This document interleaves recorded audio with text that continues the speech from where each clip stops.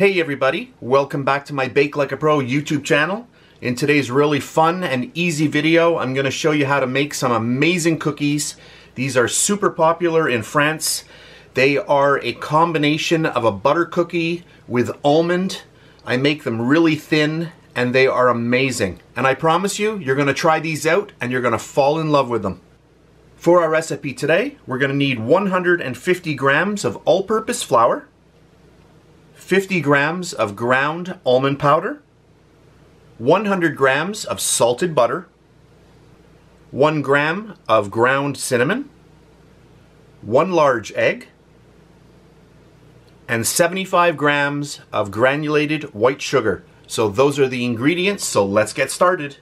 To start off our recipe, I have placed my salted butter into a large bowl, and very important, this butter must be very, very soft. So before you make your recipe, make sure you measure out your butter, bring it out, let it sit on the counter so it gets really soft. And then I'm going to bring in my mixer. And as soon as I turn on my mixer, you can see how soft this butter is. That's good. And then my granulated sugar. Let's just get all of that in there. And now I want to cream that sugar with the butter. So you can increase your mixer.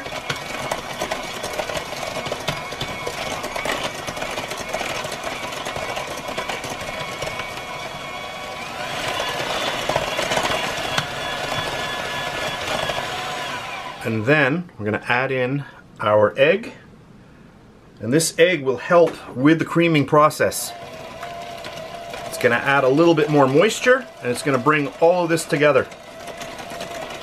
So always speed number one when you start off adding new ingredients. And then increase your mixer. And then just mix until nicely smooth. So my mixer is on high speed right now. You can see how nice that is getting really fluffy and you can also see the color has lightened right up. So let's just clean off our beaters, that's good. And then we're going to sift our almond powder. I'll get my cinnamon in.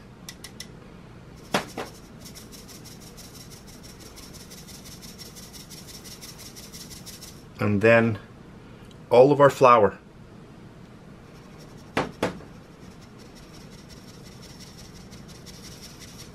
And then I'm just going to push all of this through.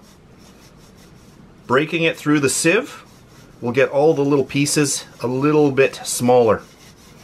So just take the back of your hand or the front of your hand and just push. Just break all of that down. We want all of that goodness in there.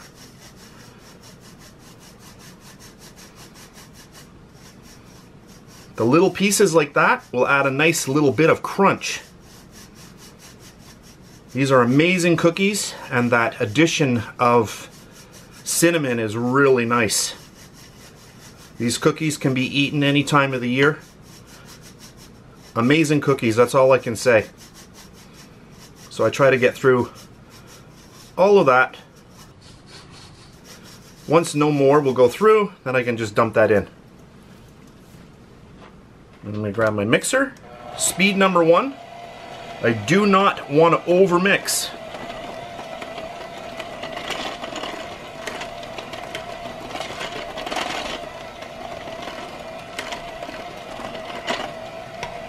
And if you want to have recipes that turn out with perfection every time, it really is a good thing to invest in a little scale.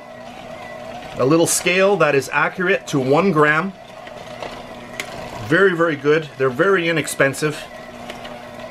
And you will have it for years. And it's just amazing in the kitchen. It will change your baking. Okay, that's good. I just want to go up on the sides. And that's it for this recipe. Now I'm just going to increase my mixer. Get all of that off.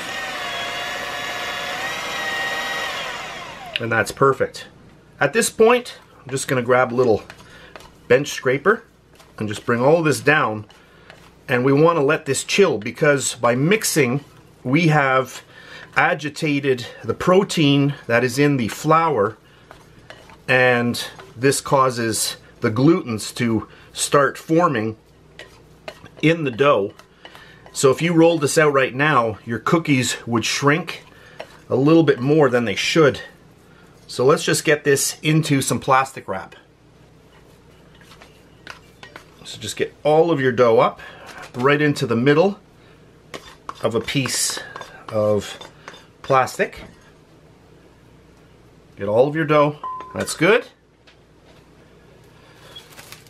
And just get that on camera. Flip your plastic wrap over and then push. You can see all the nice little specks in there of the cinnamon.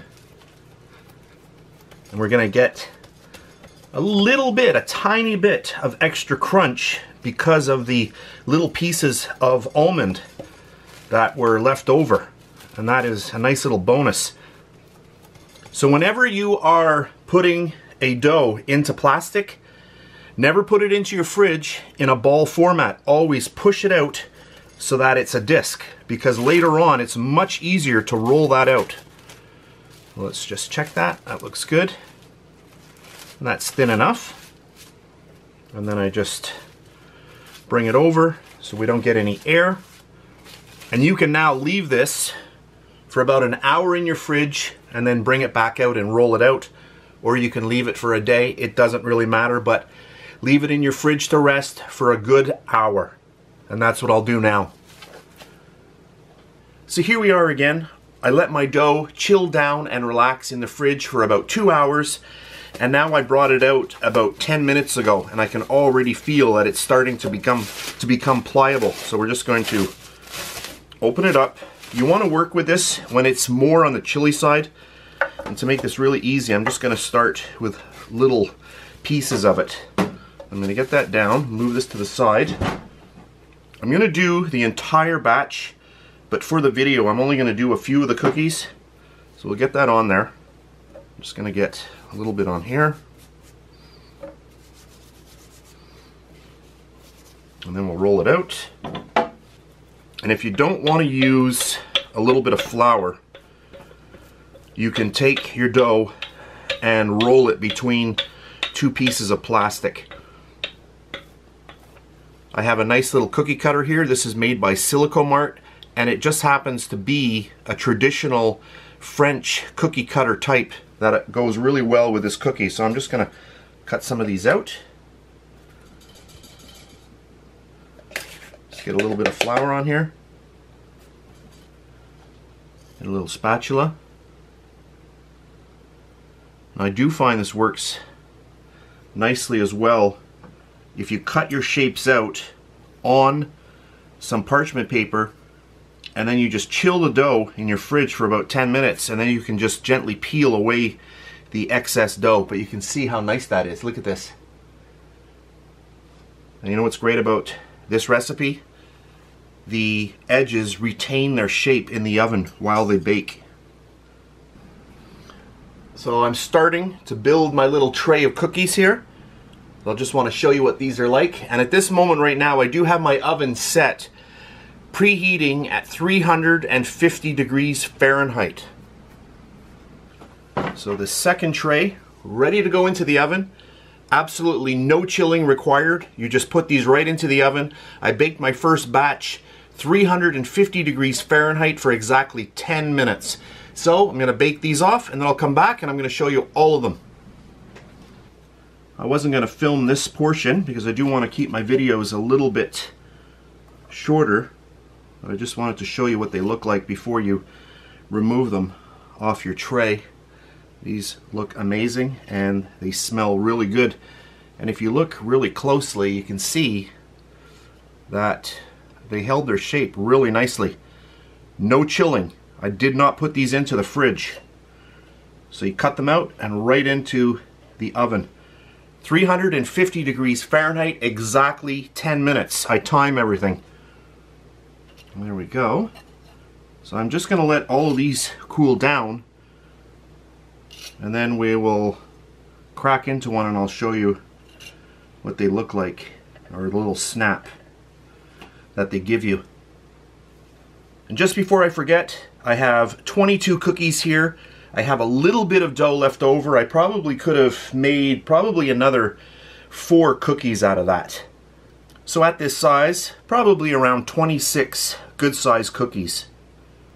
Now that my cookies have completely cooled, I've zoomed in just to show you these a little closer up. Hopefully you can see how nice these are. And I'll just spread some out here so you can see them. And you can hear they're nice and crispy. Look at this. And I like them like this, just a little bit of browning on the edges. And I'll flip one over. And you can see how thin these are. Very, very thin. Hopefully you can see that. So let's just snap into one of these. And the I can smell that cinnamon in there. Amazing. Listen. Did you hear that? You want to store these in an airtight container to keep them nice and crisp. Listen. Amazing. You're going to try these one time, you will fall in love. I guarantee it. I'm going to go for a little bite. Mmm. Beyond amazing. I can't tell you how good these are. Mm-mm. Yum.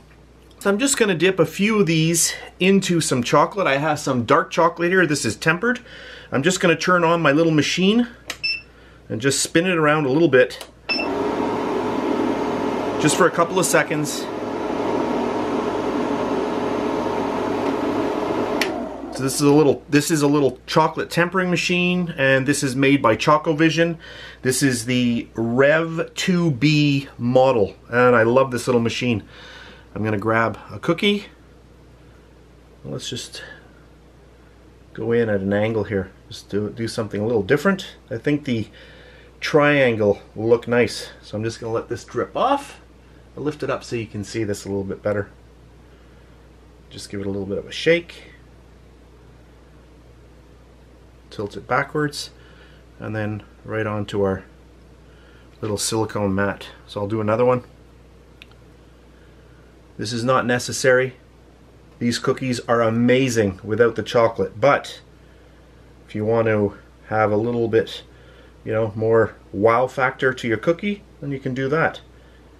And also, you can sprinkle a little bit of salt on there. A little bit of sea salt would be nice just before they set up. This chocolate is tempered, so it'll take about four to five minutes and then we'll already start seeing it set up.